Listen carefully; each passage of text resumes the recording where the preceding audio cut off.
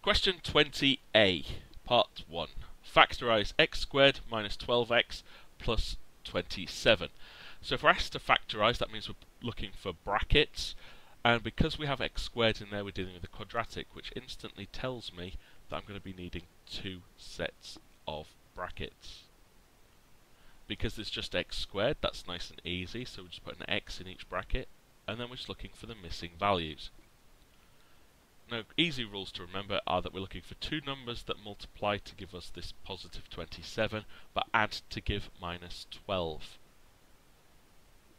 You could do this through trial and error, maybe you can see it straight away.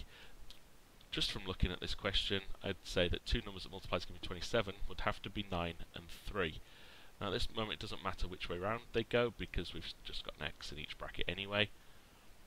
But to make this number negative when they're both added together, both of these would have to be negative also. So our fully factorized form is x minus 9 multiplied by x minus 3. Part 2 asks us to solve the equation of x squared minus 12x plus 27 equals 0. Now because we've factorized this, put it into two brackets, to make this equal to 0, each of these brackets has to become 0 as well. The only way to do that would be to either make x equal to 9, because 9 take away 9 is 0, so that's one of our possible solutions. So we have x equals 9.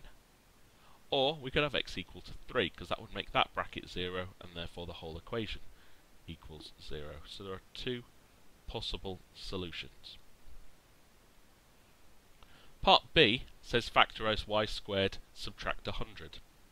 Now there's no multiple of y in the middle there, so this one becomes, again, a very easy one if you can remember the pattern.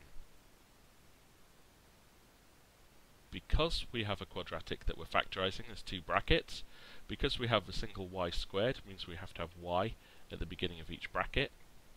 I want two numbers that will multiply together to give me negative 100, but add to give me nothing. Now the only way that can actually happen is if we have positive 10 and a negative 10.